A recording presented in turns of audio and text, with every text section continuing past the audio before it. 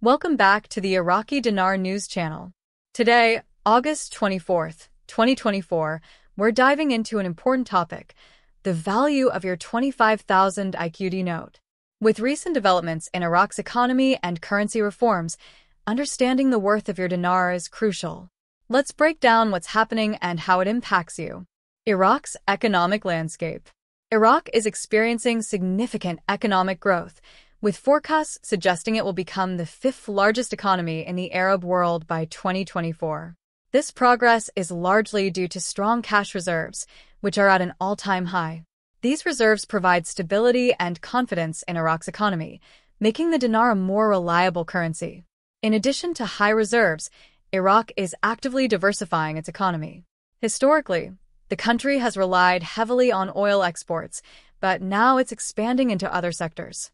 This diversification is reducing dependence on a single commodity and creating new opportunities for investment and economic growth.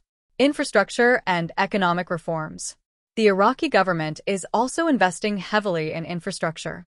These investments are not only stimulating economic activity, but also attracting foreign investment. Improving infrastructure supports various sectors, further boosting the economy. Economic reforms are a major part of Iraq's strategy to enhance the business environment. The government is focusing on improving transparency and making it easier to do business in Iraq. These changes aim to create a more stable and attractive investment climate. Understanding currency value.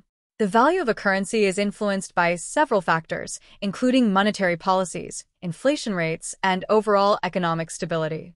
For the Iraqi dinar, recent policies and reforms are playing a significant role in its valuation.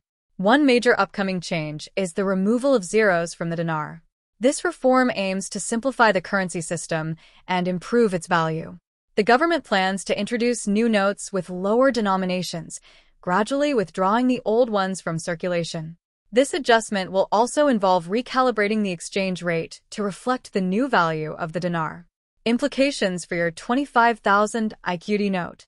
So, what does this mean for your 25,000 IQD note?